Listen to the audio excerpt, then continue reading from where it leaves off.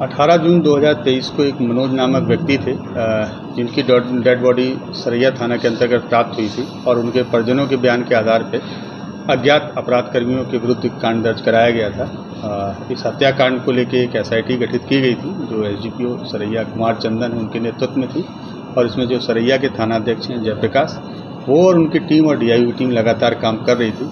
इस केस के बारे में कल देर रात्रि में तीन लोगों की गिरफ्तारी हुई है। जिसमें से एक व्यक्ति का नाम रोशन है, दूसरे का नाम सर्वेश और तीसरे का नाम कृष्णा है। इन तीनों ही व्यक्ति की इस आपराधिक वारदात में मुख्य रूप से संलिप्तता थी और इसके अतिरिक्त एक फोर व्हीलर भी बरामद किया है पुलिस ने, स्विफ्ट डिज़ायर कार। जिसके माध्यम से जो मृतक थे मनोज, उनको ले जाया गया था और उस फोर व्हीलर में ही उनकी हत्या भी की गई थी। इस हत्या की जो वजह थी, वजह मुख्य प्रेम प्रसंग का मामला था। वहीं सरैया की एक महिला हैं उनके साथ में मृतक का पूर्व में प्रेम प्रसंग था। कालांतर में उस महिला की शादी हो गई अन्यत्र स्थान पर एक दूसरे राज्य में। और महिला ने अपने जो पुराने प्रेम प्रसंग के संदर्भ संबंध थे, उनको समाप्त करने की लगातार उनसे रिक्वेस्ट की, लेकिन मनोज लगातार इस बात पर दबाव दे रहे थे कि नहीं, जो पूर्व का संबंध है वो लगातार जारी रहे। इसी बीच में इस वारदात से, इस कोशिश से आजिज होकर जो महिला थी, उनके द्वारा सरैया के एक व्यक्ति हैं, रोशन, उनसे संपर्क किया गया।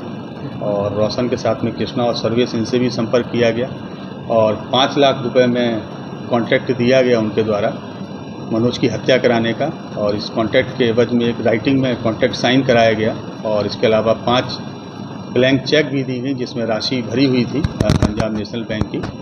वो तीनों लोगों को दी गई। इन तीनों ही लोगों ने प्लान किया जिसमें से एक व्यक्ति कंपाउंडर का काम करते हैं। उन्होंने अपने दो अन्य साथियों को लिया।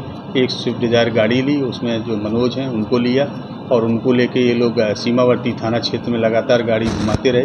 पहले उनको शराब पिलाई गई, इसके बाद में उनको बेहोशी का इंजेक्शन दिया गया। वो बेहोश हो गए और उसके बाद में उनका गला दबाकर और गले पे घूसे से वार करके उनकी हत्या कर दी गई। इस पूरे घटनाक्रम में हम लोगों ने तीन लोगों को गिरफ़्तार किया है। तीन लोगों के अतिरिक्त अभी दो लोगों की इसमें और संलिप्तता सामने आई है जिनकी गिरफ्तारी के लिए हम लोग अभी प्रयास कर रहे हैं। इन दो के अतिरिक्त एक उक्त महिला है जिन्होंने कॉन्टैक्ट दिया था। उनको भी हम लोगों ने अभियुक्त बनाया है। उनकी भी गिरफ्तारी के लिए टीम भेजी जा रही है। तो महिला भी फरार है? हाँ वो महिला भी फरार है। जो गिरफ़्तार हुए हैं तीन लोग ये कौन कौन इसमें से एक व्यक्ति का नाम कृष्णा है दूसरे का नाम सर्वेश है और तीसरे का नाम रोशन सर ये मतलब ये तीनों जो गिरफ़्तार हुए वो महिला के मतलब किसी रिश्ते में तो नहीं है? नहीं रिश्ते में नहीं है वो महिला के पर्चे कॉन्ट्रैक्ट क्लियर है हाँ चूँकि अब कॉन्ट्रैक्ट राइटिंग में साइन हुआ है और बाकायदा जब चेक दिया गया है तो हम लोग मान सकते हैं कॉन्ट्रैक्ट क्लियर लेकिन इन लोगों का हिस्ट्री वैसा अभी तक नहीं मिला है कि पूर्व में कुछ इस टाइप की आपराधिक वारदात इनके द्वारा की गई हो। हम लोग दूसरे जो हम लोग के सीमावर्ती ज़िले हैं, वहाँ से आपराधिक इतिहास प्राप्त हो